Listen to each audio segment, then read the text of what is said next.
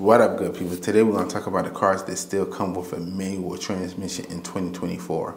Let's get into this video. Art of Speed. So the first run-up is the Ford Mustang, coming in at number one because of the fact that it's still the alpha male of sports cars. Man, because the Camaro, the Challenger, the Charger, they got rid of them. And guess what? The Ford Mustang is still standing strong. So they say, hey, why not still stay alive and stay strong? So we said, all right, cool. We're gonna put a manual transmission in the Ford Mustang and still uh, be beasting on the road today because the Ford Mustang is still a beast on the road today.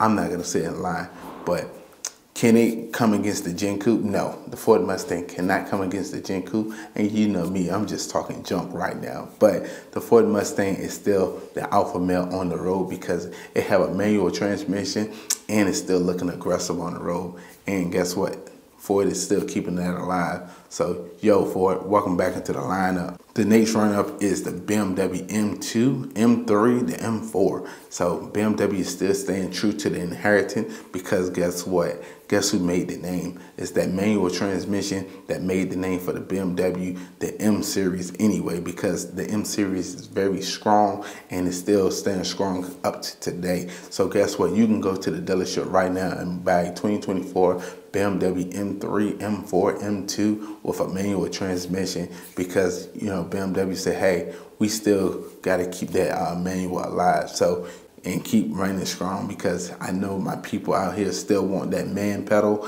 and that third pedal. The, and you got the sporty feel with the third pedal. So yeah, you can ride around getting it because you can feel freely drive, shifting through them gears. Boom, boom, boom. But hey, that's BMW. But yo, welcome BMW. Welcome back into the lineup. So the next car is the Subaru BRZ and it's a rear wheel drive vehicle and it's a sports car. So yes, it's light, nimble, and guess what? It still comes with a manual transmission. So if you still wanted to get that third pedal or that man pedal, most people call it, yes, you can still get that in the Subaru BRZ, even the Toyota 86. So yo, Subi, welcome back into the lineup. But if you enjoyed this video, go and smash that thumbs up button. If you're not part of Art of Speed family, go ahead and subscribe button. Yo, welcome to the family. I look forward to seeing you next video.